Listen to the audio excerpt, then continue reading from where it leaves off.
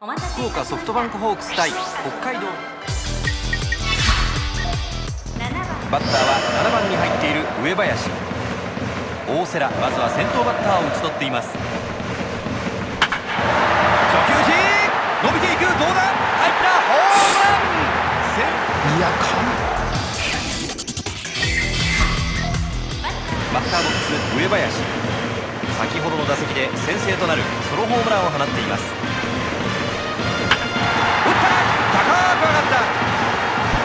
には届きません。バッ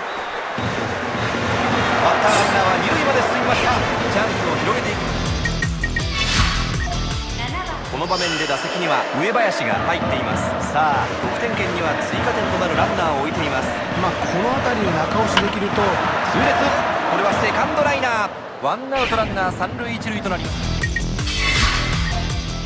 7番バッター上林。まあ、大きく差が開いてますけどどんどん点を取りに行く姿勢でいってほしいですね。打った右中間破っていきました。そしてセカンドランナーも三塁に回って今ホームイン追加点が入りましたソフトバンク。